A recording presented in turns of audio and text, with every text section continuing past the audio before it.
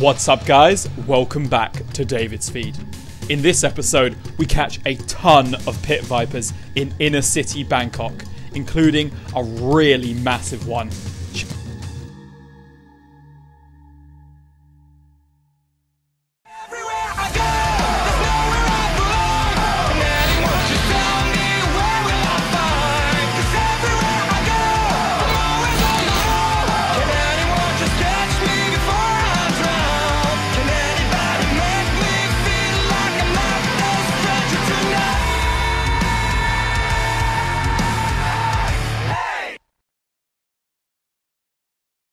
Some of you will remember our first video of 2020.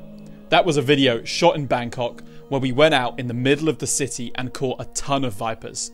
Well, this video was actually shot on the same night. David and I went home, went back out between the hours of 1 and 5 to see how many pit vipers we could find.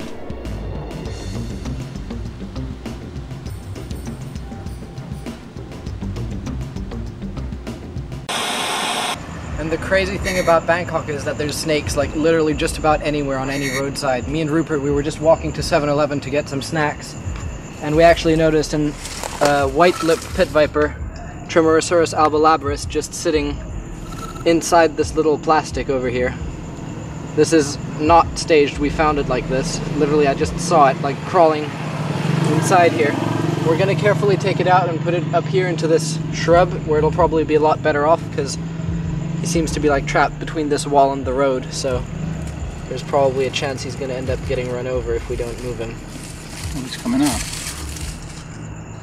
This is, yes, this is a male, and you can tell that it's a male. If you look on their top lip, they've got that distinct white line, which is typical for males. Females will have like a fade from a light to a darker green. And if you look on the bottom of his chin, there's actually a large weaver ant, and what they'll do is they'll bite on and not let go, sometimes even after the ant dies. The ant will remain stuck to their to whatever they've bitten, and you can see there's a very large weaver ant just stuck on the bottom of the snake's jaw.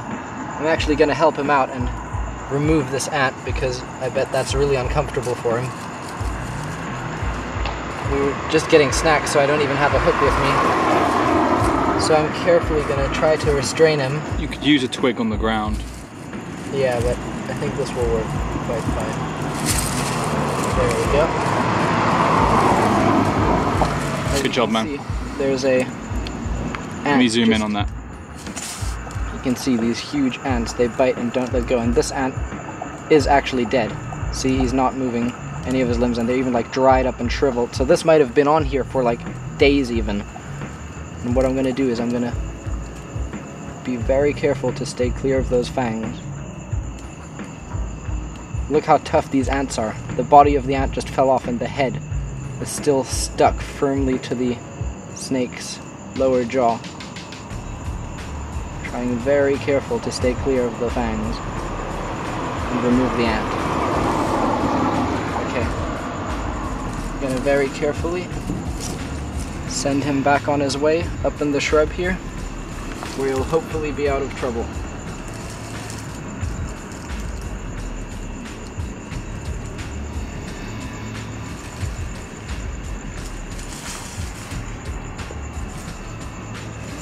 Well, that was cool. Definitely unexpected. Very unexpected. Going to 7-Eleven now, I guess. After grabbing some food from 7 Eleven, we headed off, 7 Eleven bag in hand, into random empty abandoned plots between houses where we knew we'd find snakes.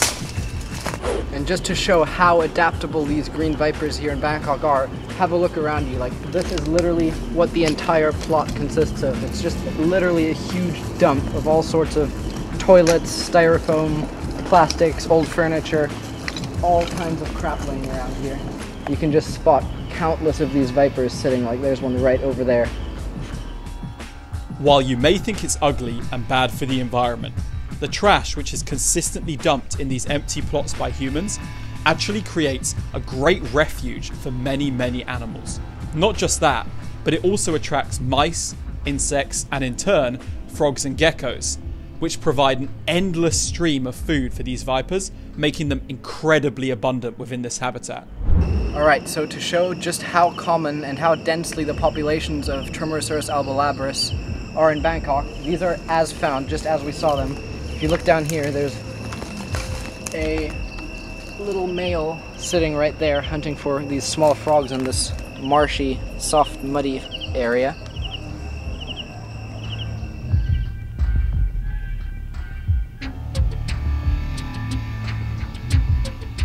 And if you look over here, just a few steps away, you can already see the next one. These are very easy to find because they're. Oh, oh no. We can't walk on this, it's really muddy. I'm sinking. Come around my side. Wait, I just got thorns in me too. Watch out, this is spiky. You can see there's another one right there. They're such a bright greenish yellow, they like really pop out at you when your light hits them from your flashlight. And then mm, Where's the coolest part?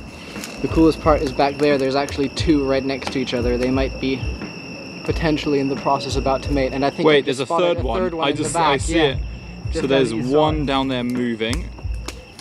One on the right. Oh look, and there's one right here too. Right in here. So how many is that in total? Seven. You see it. This one's really small. Yeah. Take your torch off, away a little bit. Let's just scare this one away so we can walk past safely. That's seven in this tiny. Well, because it's the dry season, they've all congregated. Around this little, what used to be water hole. Oh, I'm too heavy for this. Now the seventh one is, they're all hiding now that we've disturbed the area a little. But yeah, you get the idea. They're all just insanely. Wait. All right, they're starting to disappear now because we've kind of trampled around and made a noise. But just you get the idea. They're insanely common in these little small plots. Like literally within like a distance of like 20 meters, we just found seven. And look, buildings all around. Yeah, we're literally like inside Bangkok, just on an unbuilt property. If you think these vipers only live in the empty plots, you'd be mistaken. In fact, they show up in houses and gardens across Bangkok very commonly, which is when most bites occur.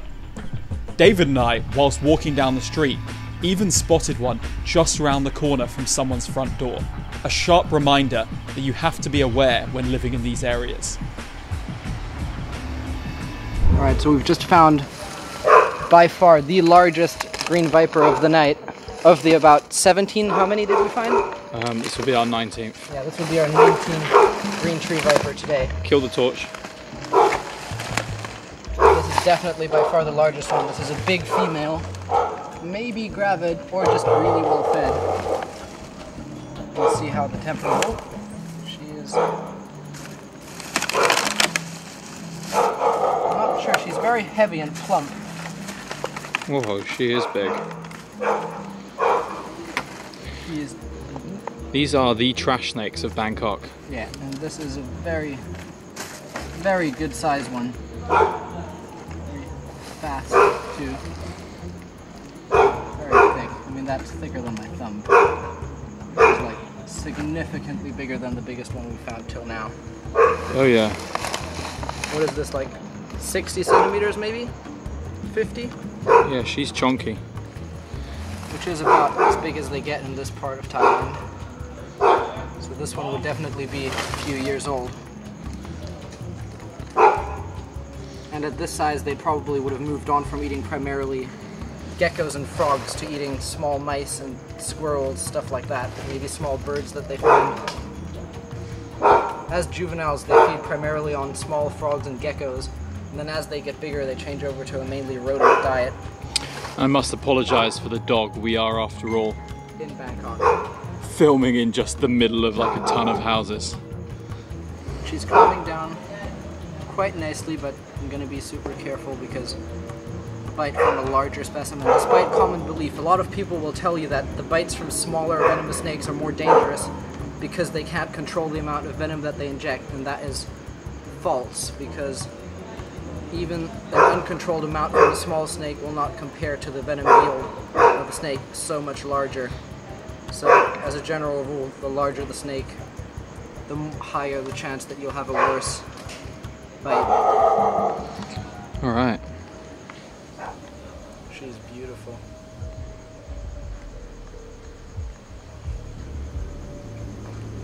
See, if you're just very gentle with them and handle them in a way that they don't feel threatened or scared by you, they will have no reason to bite because they're very peaceful creatures as long as you treat them in a way that doesn't frighten them. Absolutely, man. That's such a nice shot. Hold it up a bit.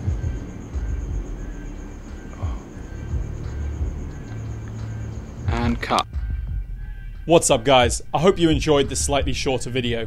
Of course, we got new videos out every single week despite lockdown, so make sure you like, comment, subscribe and hit that notification bell so you don't miss a single video.